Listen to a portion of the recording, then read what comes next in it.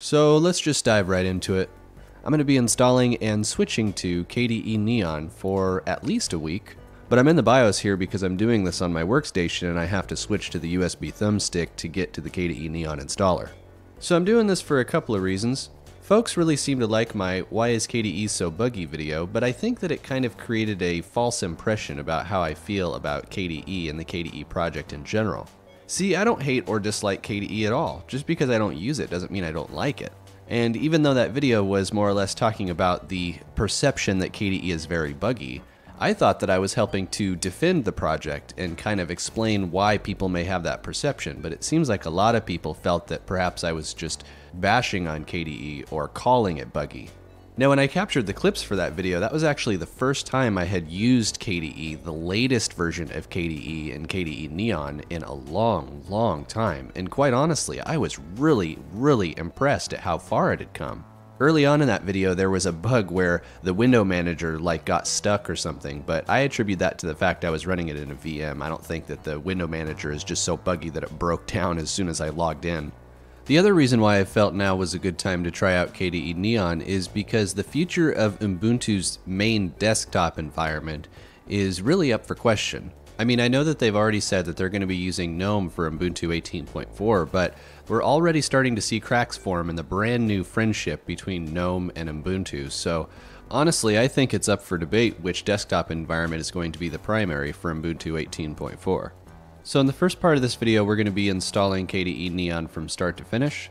Since I'm installing it on top of an existing Ubuntu 16.4 install, I'm going to be using my old home partition because I don't want to have to reinstall all of my Steam games and PlayOnLinux games and things. Everything else about this install is going to be pretty standard. I'm pretty sure KDE Neon uses the same installer that Kubuntu does. If nothing else, they're both based on Ubiquity, which is the main Ubuntu installer, so there's nothing special here. I did run into a bit of a problem trying to create the boot partition.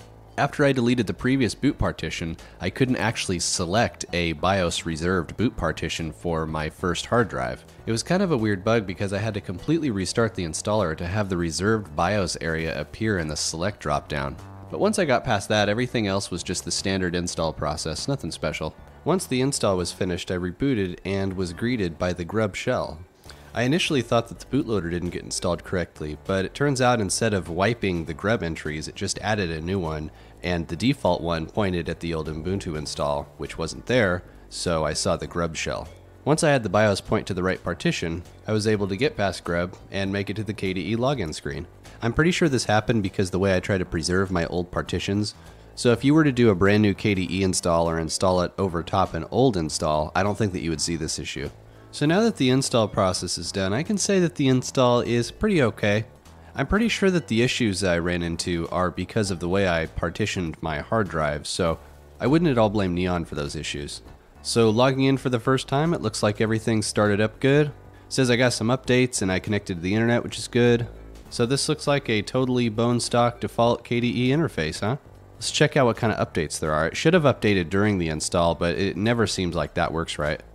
I'll tell you what, I haven't used KDE Discover in, in I don't even know how long, and this thing is slick. Discover blows GNOME software out of the water. This thing is nice. It doesn't look like I can interact with it much while it's updating, so let's take a look at the system settings. So there's a few changes I need to make before I can really settle in. Need to change the keyboard, change the mouse so we do a double click. Uh, screen lock drives me nuts, so I'm going to go ahead and turn that off. And the default 10 minute screen timeout is also annoying, so let's go ahead and increase that to 30. And that's all I'm going to do for right now. So let's see if I remember how to change the desktop background. In Elementary and Unity, I've always just opened the picture I want to be my desktop background, and the setting is there, but I'm not seeing it in Gwenview, which doesn't really bother me because it seems kind of awkward to have to go to the image you want to be the desktop background I thought that the normal way of doing this is to right click your desktop background and then select an image from there, but that never really worked right on Elementary. So we got our background set and the updates are done, so wow, this software management list is, uh, it's not loud, but it's really hard to kind of see what's going on. Yeah, the way this is organized is awkward. I can't really tell what's going on. Oh wow, and these icons don't have tooltips. That's odd. So I think I'm going to wrap up the video here.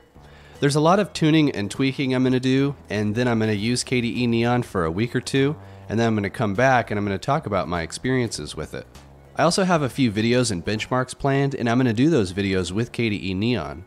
I'm really looking forward to the benchmarking videos because, I mean, look, we're not even using a gigabyte of RAM with all this running. Now, KDE has a reputation for being really heavy and resource intensive, but I don't know, 700 megabytes of RAM? I'd say that's pretty good. So if you like this video and you're looking forward to the next KDE Neon video, leave a like, comment, subscribe, and tell me what you thought in the comments. Your guys' support is awesome, and thanks for watching.